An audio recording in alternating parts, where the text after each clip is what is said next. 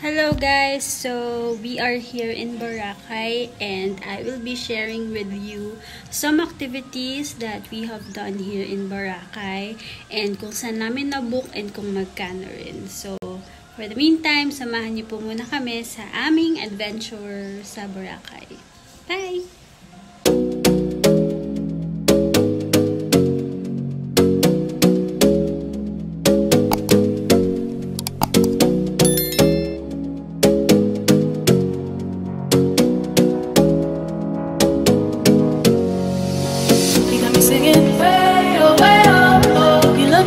Who could treat me right. Way oh way oh oh. Boy, take a chance, will you let me ride? Way oh way oh oh. I could be the best thing in your life.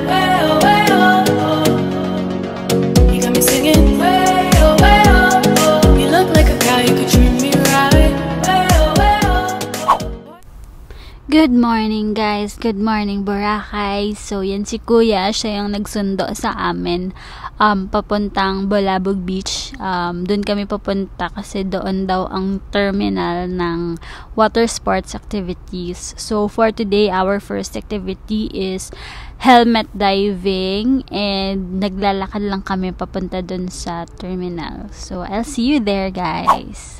Guys,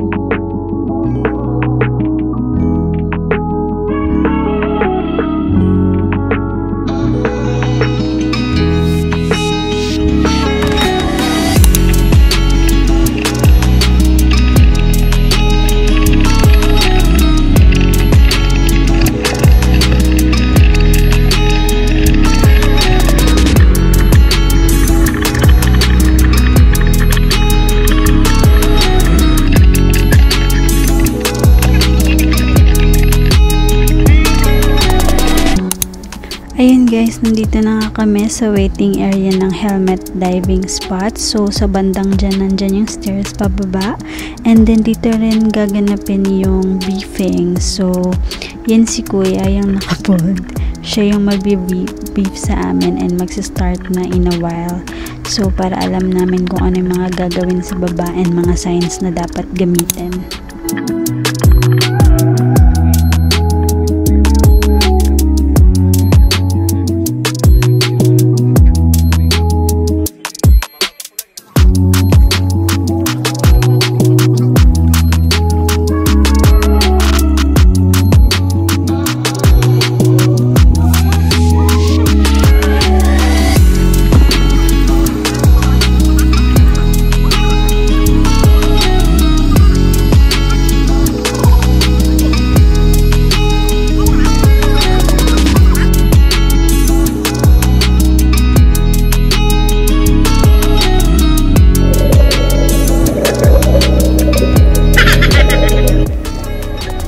Ano kasi kuya yung photographer, chinika-chika niya ako sa taas niyan.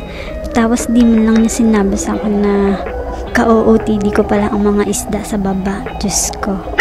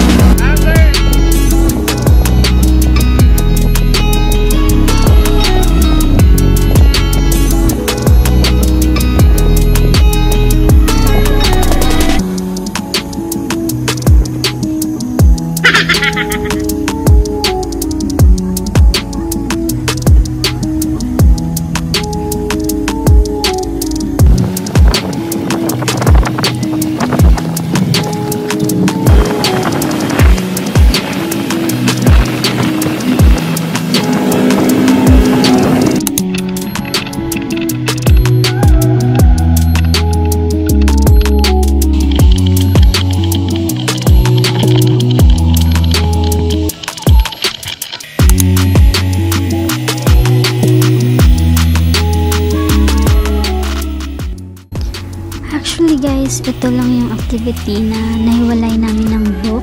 The rest were booked through NJ Travel and Tours including yung airport to hotel transfers and vice versa. Also yung island hopping and terminal fee and environmental fee. So package na siya lahat and we made it that way kasi ayaw na namin ma-hassle pagdating namin ng Bora and di rin naman talaga kami nagsisi na we booked it all in one. So, ito lang yung nahiwalay kasi nagkaroon ako ng discount voucher sa Klook because of my previous travels and um, mag expire na kasi siya this year. So, might as well use it na lang, ba